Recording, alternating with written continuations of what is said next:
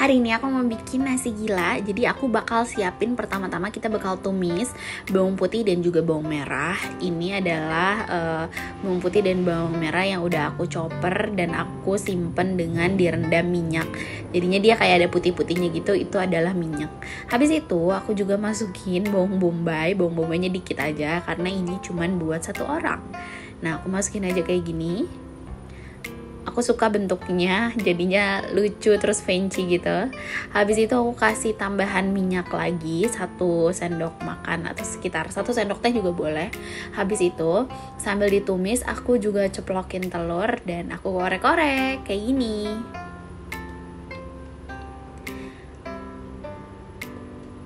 Kalau udah diorek-orek kayak gini sampai telurnya set habis itu aku masukin daun bawang dan juga satu buah tomat. Terus juga aku masukin bakso. Habis itu aku aduk-aduk lagi. Terus ini adalah kol. Dan juga aku masukin cabai rawit yang merah. Bumbunya cuman saus tiram aja. Di sini aku pakai yang saori. Terus aku pakai sambal saus sambal. Gini. Dan juga kecap manis Habis itu aku oseng-oseng lagi. Di sini aku sama sekali nggak pakai tambahan uh, penyedap rasa ataupun garam lagi karena bumbu-bumbu yang tadi itu udah tasteful banget, udah asin, udah manis kayak gitu. Nih aku oseng-oseng aja. Aku juga nggak ada tambahan air atau apa pun.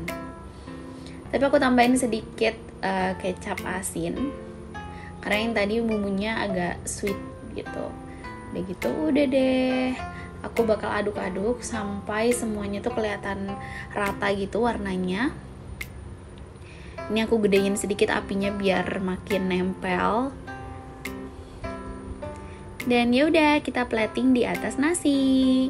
Inilah dia nasi gila. Hmm yummy yummy yummy biasanya beli.